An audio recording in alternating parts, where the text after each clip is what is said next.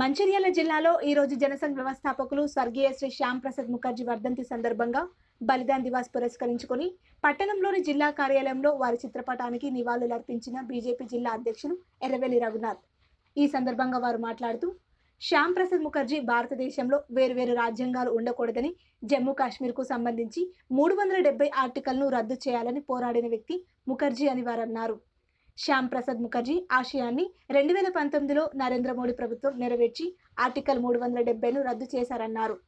శ్యామ్ ప్రసాద్ ముఖర్జీ ఆశయ సాధనకు అందరం కలిసి పనిచేసి రాబోయే రోజుల్లో తెలంగాణలో బీజేపీని అధికారంలోకి తీసుకురావడానికి కృషి చేస్తామని వారు అన్నారు ఈ కార్యక్రమంలో బోయిని హరికృష్ణ రజనీష్ జైన్ బియ్యాల సతీష్ రావు పట్టి వెంకటకృష్ణ నాగుల రాజన్న బల్ల రమేష్ ఆరేంద్ర శ్రీనివాస్ బల్ల రవి కూరచక్రి శ్రీ వాస్తవ సాయి మరియు తదితరులు పాల్గొన్నారు. కంటే ముందు భారతీయ జనసంఘ్ పార్టీ యొక్క వ్యవస్థాపకులు డాక్టర్ శ్యామా ప్రసాద్ ముఖర్జీ గారి వర్ధంతి సందర్భంగా ఈరోజు బలిదాన్ దివస్.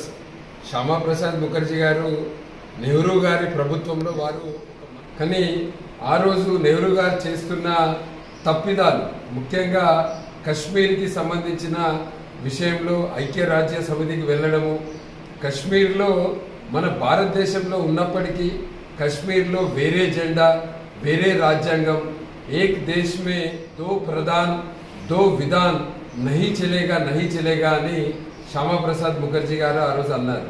వారు మంత్రి పదవికి రాజీనామా చేసి భారతీయ జనసంఘ్ పార్టీని స్థాపించి ఆ రోజు వారు కశ్మీర్కి వెళ్ళడం సెవెంటీని తొలగించాలి. కశ్మీర్ని భారతదేశంలో పూర్తిగా విలీనం చేయాలి.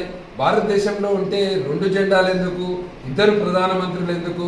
కశ్మీర్కి వేరే రాజ్యాంగం ఎందుకు అని వారు ఆ రోజు పోరాటం చేయడం జరిగింది. దాంట్లో వారు కశ్మీర్కి వెళ్ళినప్పుడు వారు అకస్మాత్తుగా ఈరోజు జూన్ ఇరవై మూడు వారి వర్ధంతి సందర్భంగా వారిని గుర్తు చేసుకుంటూ వారు ఏదైతే సిద్ధాంతం కొరకు పనిచేసిండ్రో దేశ భద్రతకు జాతీయవాదం విషయంలో ఎప్పుడు కూడా వారు కాంప్రమైజ్ కాలేదు.